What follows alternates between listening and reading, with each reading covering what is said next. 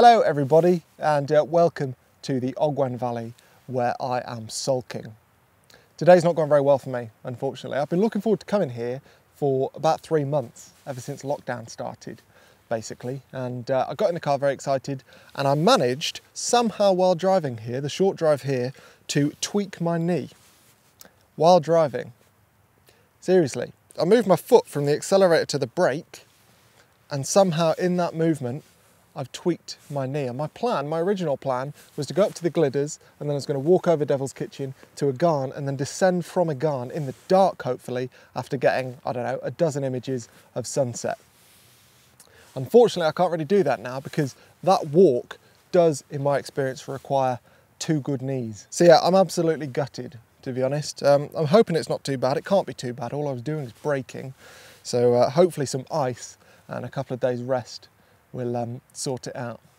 And for the time being, I've just been flying my drone and taking it all in from here, since I can't take it in from up there. Anyway, I was thinking while I was sat here that I could talk you through my, uh, my scouting method, I suppose, uh, because I'm not going to be taking all that many photos today, I don't think. Uh, what I mean by scouting method is that most photographers, I'd imagine, including myself, uh, like to have some kind of database of images or image opportunities. So when we go out and we see somewhere that we think is a good spot for a photo, but maybe we've not seen it uh, in its best conditions, which is pretty much always the case to be honest. Most of the time that you rock up at a location, you're not seeing it in the conditions, the ideal conditions that you would like to photograph that location in. And chances are, over the course of months or years of photography, we're going to come across hundreds of scenes like that. So the question is, how do you organise the memory of all those scenes so that next time you do have good conditions for that particular location, you remember that location? And uh, I don't think there's any right or wrong way to do it. This is just the way I do it. So in short, as you can probably tell by the fact that I've got my phone out, my phone is integral to this process for me. And uh, basically, I have a collection of folders for different weather conditions. So I've got one for fog, uh, I've got one for sunrise, sorry, winter sunrise and summer sunrise, uh, winter sunset, summer sunset, rain, mood, flat light, snow.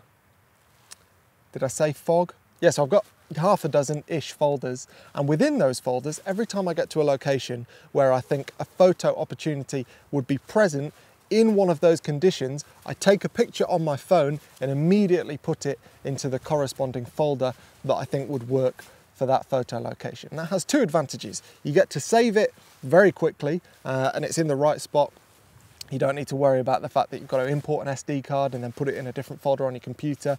Nothing like that, super simple on your phone. The added advantage of using your phone though is GPS. Because if you take a photo on your phone and it's not got GPS coordinates, then in a place like this, quite often a year later, a year after taking a photo, you can look at that photo and go, where's that? I mean, I can see it would be a good photo in fog, but how am I gonna find it? I've got no idea where I took that. But with a phone, all you've got to do is swipe up and you'll see a map of uh, the location and the exact specific point where you took that scouting photo. And uh, yeah, basically what that means is that I've got a folder of, for example, fog images where I was at locations without fog, where I thought the images there would work with fog.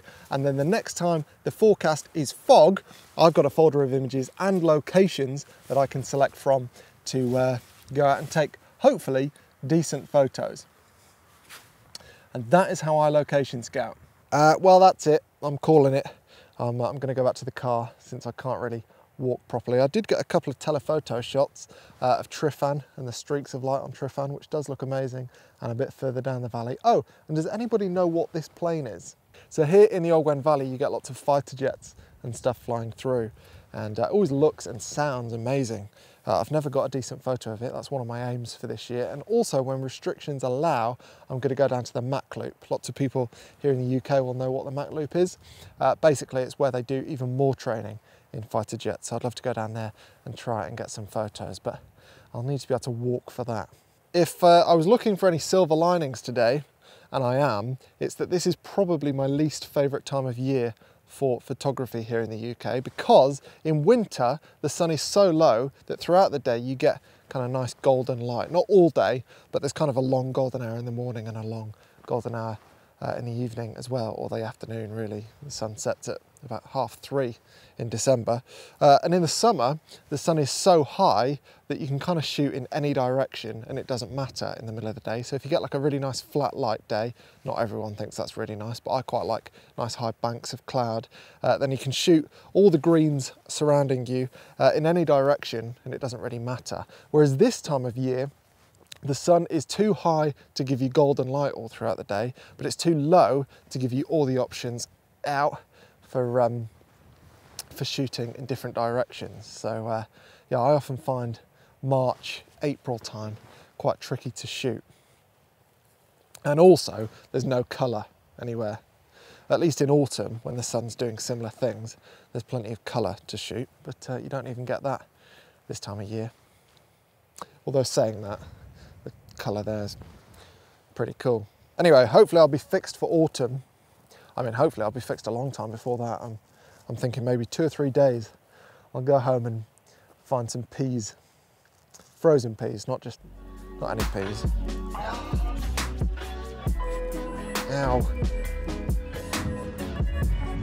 Well, I've, uh, I've limped pretty much most of the way back to the car now, but this is a good example of a photo which I think could work quite well in fog and that's mostly because of the lake. So when there's fog typically there's not much wind. When there's not much wind on a lake like this the lake will reflect the fog which will make it look well like it's not there. And then the boathouse will just look like it's floating is what I'm imagining. So yeah this is going straight in the fog folder. Nice. Yeah. Oh yes yeah, this could do summer sunrise. So the sun will come up from somewhere over there. I'll have to check PhotoPills to make sure. But then the light can stream in between the boathouse and Tryfan. That'll look nice. Back in a couple of months.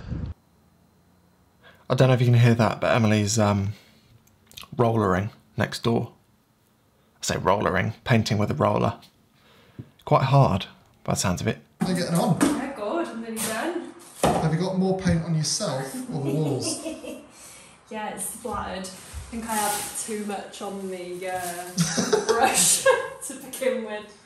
Um, quick word about ads actually on my videos. Last week I uploaded a video and a few people commented saying that there were too many ads in the middle of videos. Um, there shouldn't be any ads in the middle of my videos. I'm very lucky on this channel to have sponsors and so I turned the mid-roll ads off. So if you see any ads in the middle of the video interrupting the video, please let me know because they shouldn't be there. Uh, what else? Oh, my knee. So it's been three days since I shot that footage in Ogwen and several bags of peas and my knee feels an awful lot better actually.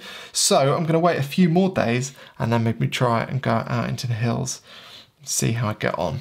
Um, I'm hopeful because it was random. Anyway, a big thank you for watching and a big thank you also to today's video sponsor, Skillshare. So Skillshare is an amazing online learning platform full of thousands of classes and all kinds of different creative pursuits. And you can literally learn anything from how to use Photoshop to how to care for household plants. Uh, there's all manner of different things on there, and if you're stuck at home at the moment wondering what kind of things you can photograph, I would recommend a class in still life photography uh, that I've been checking out recently, where you can get ideas and inspiration on how to turn fairly mundane things into really nice photos. So yeah, check that out. The first thousand people to do so in the link in my description will get access to a free trial on Skillshare. Uh, and then after that, if you carry on your membership, then you'll pay less than $10 a month to do so. So a big thank you to Skillshare for their continued support. And uh, I'll see you next time when hopefully I'll be able to walk.